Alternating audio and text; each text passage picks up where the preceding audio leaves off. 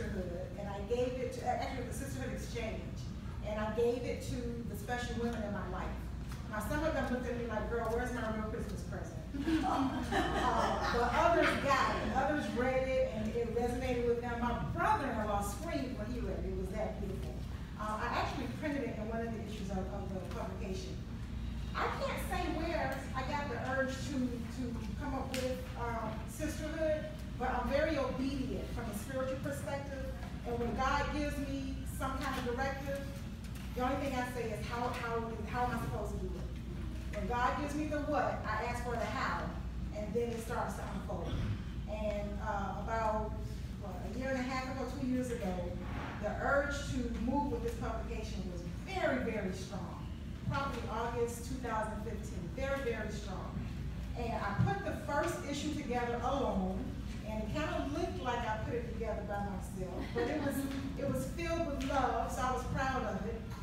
About a month later, I got an invitation to become the editor at the South Florida Times. I don't make any move without praying. And so I prayed about it because I just didn't know God, I'm supposed to be doing the sisterhood right now. And so I prayed about it, and it was really, really clear to me that I'm supposed to go and work as the editor at the South Florida Times. And me being superwoman, I thought I could do both.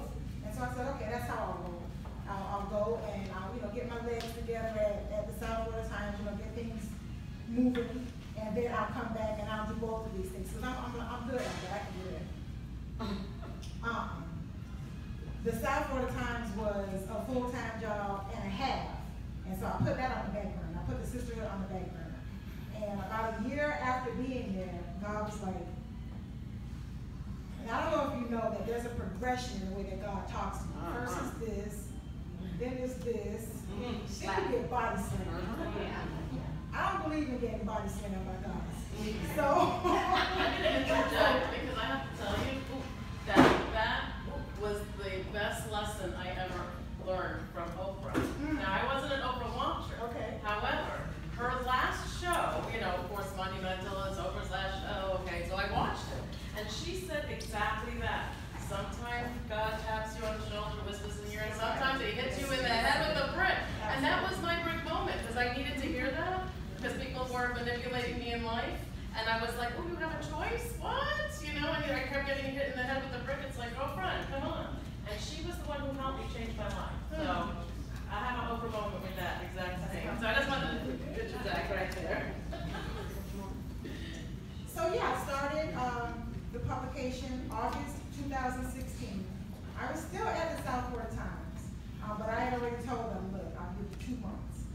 After two months, I gotta go because I have to, I have to give this my all. I'm the kind of person, wherever I am, I give it 110 percent. And so I couldn't give 110 percent to both, and I didn't want the quality either to suffer. But I was really, really clear that this was the, the timing of this was in divine order, and it was time for me to move on. And so I did. I launched in August 2016, we did the first three issues online, and the fourth issue, uh, launched in print in November of 2016. And it's been onward and upward ever since. My whole idea about the publication is to capture the highest essence of sisterhood. I think sisterhood starts within us, individually. We inform sisterhood collectively. The way that we show up individually defines how sisterhood unfolds collectively. Okay? And so the sisterhood of self, the relationship that we have with ourselves, is what defines not only the quality of our life, but it also defines how we connect with other women. The kind of women who show up in our lives, they're a reflection of who we are. They're a reflection of how we respect ourselves, how we love ourselves, whether we're taking our dreams and goals seriously or not, whether we're having fun, whether we're having adventures, whether we're recognizing and acknowledging how fabulous we are. That's why I have Priscilla Dames in my life. That's why I have a Warren G in my life. The way you roll, that determines who shows up in your life. And so I thought, okay, let's make this publication an opportunity to capture women who get that.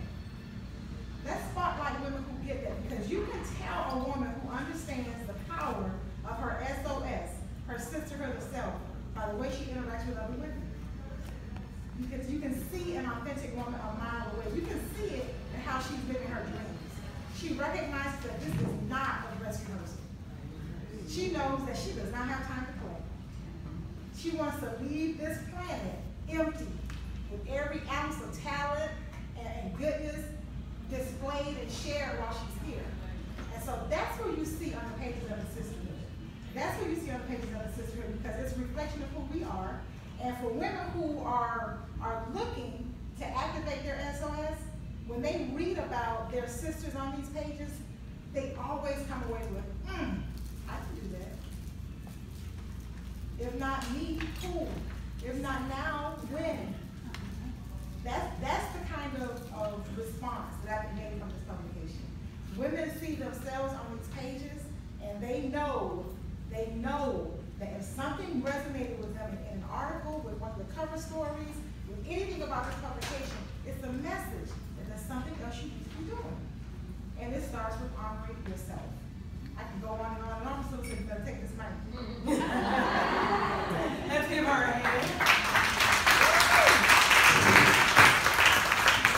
Dr. Walker, thank you for coming. Thank you for inviting And I'm not trying to embarrass you, I'm doing it every time someone comes in new.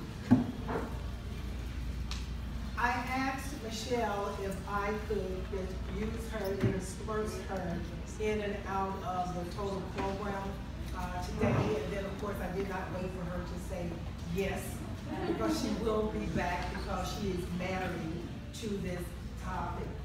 Women are still coming in. This is to testify where is Corinne? This is to testify how women need this.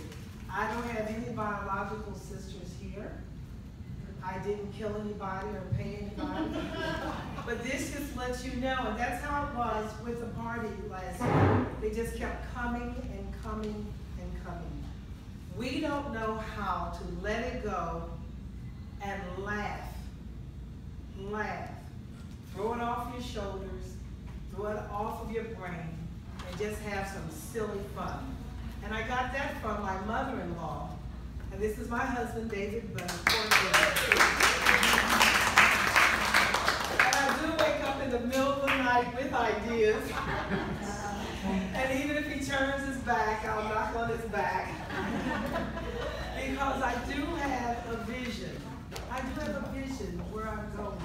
I do have a purpose. But all of us, all of us have a purpose. So I really sincerely believe in this deeply. And so I am imploring you, and I thank you for suggesting uh, that I do a seminar. And I really did immediately say this is what I wanted to do.